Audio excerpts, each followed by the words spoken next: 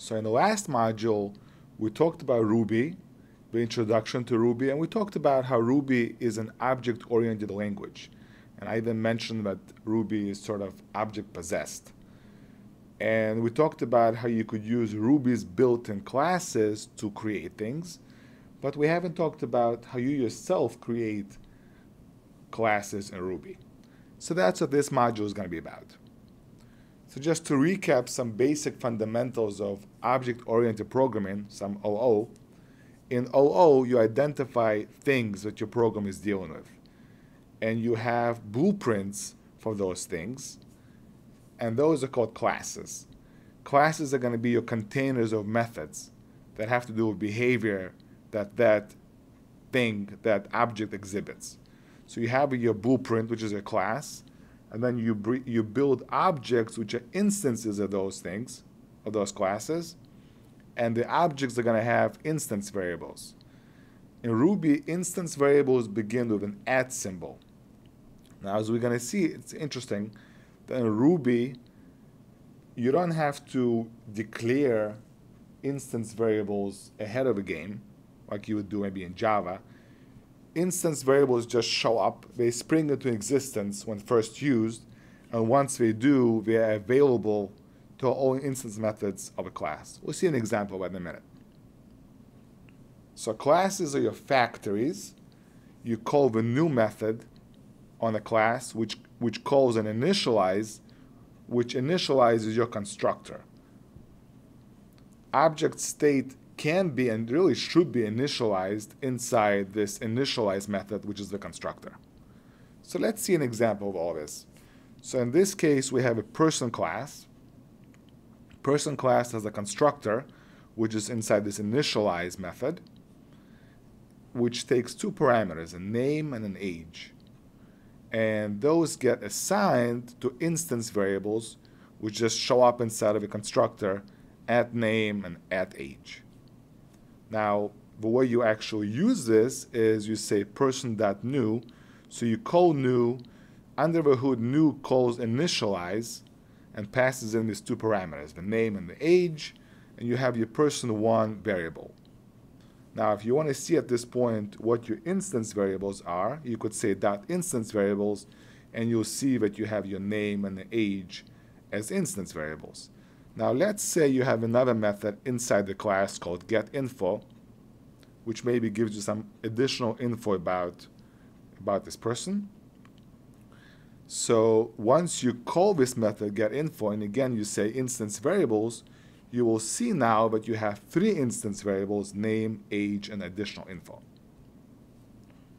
Instance variables of a class are private, and they which means can, they cannot be accessed from outside the class. Methods, on the other hand, have public access by default, and we'll see later how you change that.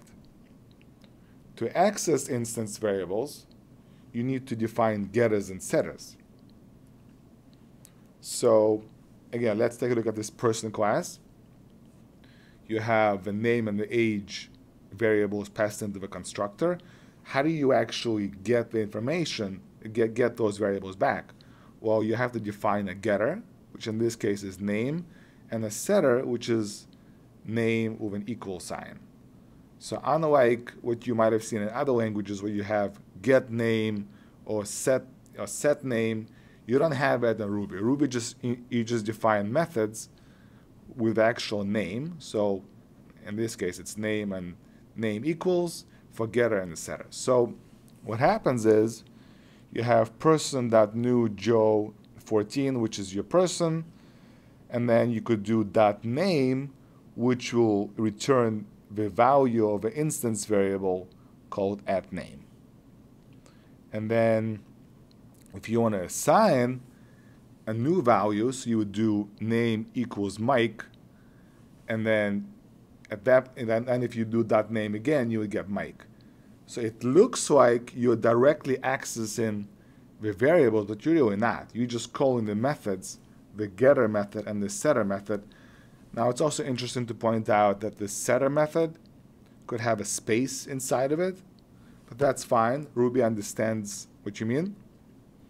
And just to illustrate my point that, that you're not actually accessing the variables, you're going through the getters and the setter, because if you do dot age, it will tell you that age is an undefined method, and if you haven't defined it, there's no way to get the age of a person.